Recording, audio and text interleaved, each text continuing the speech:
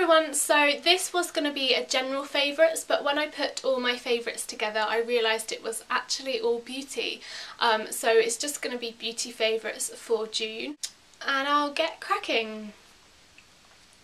So as you might know we've had some really gorgeous weather and when the sun comes out and the nice weather is around I kind of go off fake tanning a bit which I know seems a little bit weird but I find that fake tanning does really dry out my skin. And when my skin is on show I don't want that horrible scaly dry skin out. So I tend to scrub and moisturise and try and get a bit of a natural tan or I do use gradual tanners as well. Two things I've been loving this month is the Soap and Glory Flake Away a good scrub for just getting rid of that dry scaly skin. Um, I absolutely love this. I used it this morning and I was just like I need to include this in my favourites because I've just been loving it. I apply mine to dry skin so I apply it before I get in the shower. I give myself a really good scrub. Um, I obviously don't do that every day, I probably do it once or twice a week depending on how my skin feels. Um, and when you rinse it off in the shower it leaves your skin feeling so silky, so smooth. Um, Warren actually notices a big difference and he always likes my skin when I've been using this because it is just so soft and nice and silky. It does have the grapeseed and almond oils in it as well, so it does leave kind of a, not an oily residue, but it does hydrate your skin as well. And obviously that in turn helps nourish your skin and make it feel soft and smooth as well. So yeah, thumbs up for this one. And then to moisturise my skin after I've scrubbed, I've been loving the Dove Purely Pampering Nourishing Lotion. This is the pistachio cream and magnolia one. And um, again, this just glides on the skin, it soaks in, it doesn't leave any oily residue, it just leaves really nourished, smooth skin and oh, I just love the smell of it. A lot of people have said it's too sickly for them but I don't find it sickly at all. I find it really nice, really light, really refreshing and relaxing.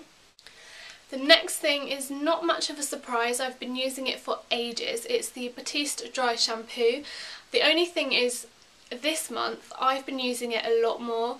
I used to wash my hair every day um, and now I look back and think I was absolutely crazy because there's no way these days I have time to wash and blow dry my hair every day um, and nor do I really need to so dry shampoo has been my best friend. I have gone like four days without washing my hair um, sometimes this month and with dry shampoo it still looks good so yeah this is definitely my saviour. It saves so much time.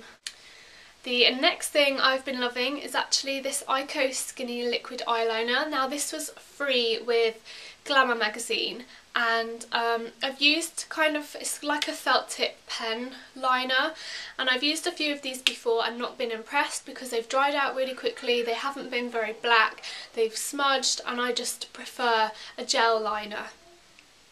However, this one is amazing. I really love the tip of it. It has a little bit of movement, but it's not too bendy that when you press down, it goes everywhere. It gives a really nice line. It's really quick and easy. It's a very true black and it doesn't smudge when I curl my lashes either and it pretty much stays put all day so I mean to come free with Glamour magazine for £2 is an absolute steal and I am addicted to this now. I've been using it every day. The next thing I've been loving is the Makeup Revolution palette.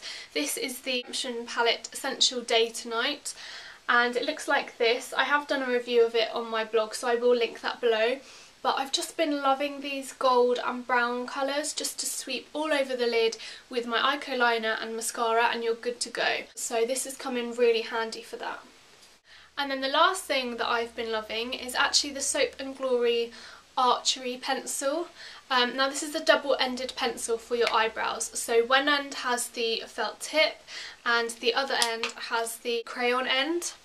And why I've been loving this is it just it's just so easy to use. I use the crayon end first to kind of get the shape I want and um, fill them in a little bit and then I use the felt tip end just to kind of define a little bit more the um, edges of my brows and I really love it. It does give quite a strong effect but I really like strong eyebrows anyway but you could just use the crayon end if you do want a softer look. Some days I do if I'm not really going anywhere having more of a lazy day I'll just quickly fill them in with the crayon end.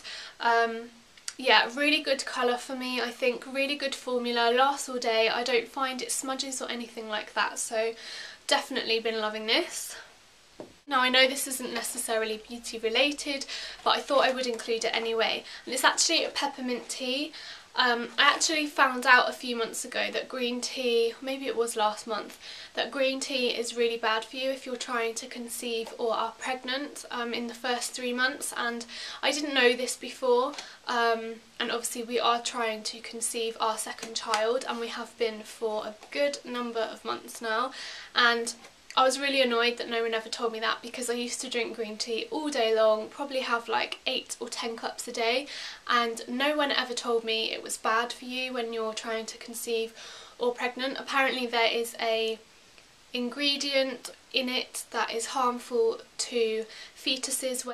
I don't know if it's a coincidence but since March I've had two miscarriages and that was before I knew that I shouldn't be drinking green tea. So anyway, cut a long story short, I stopped drinking green tea but I found I really missed it. I love my hot drinks and in the evening I would drink so many cups just, you know, it's just almost like a comfort thing for me. So anyway, I switched to peppermint tea because this is caffeine free and it's not harmful if you're trying to conceive and I've just really taken a liking to it and it also really helps with bloating and things like that. I've been finding that I wake up with a much flatter tummy, no bloating or anything like that so obviously I enjoy that as well. So so that is my beauty favourites. I hope this was interesting for you guys and you found some new products. I think my favourite thing has to be the Soap and Glory Archery. I just love a strong brow. Thanks for watching guys. Let me know what beauty favourites you've been loving this month down in the comments so I can get some new ideas of what to try next. And don't forget to like, subscribe and share with your friends. And I will see you in my next video. Thanks guys. Bye.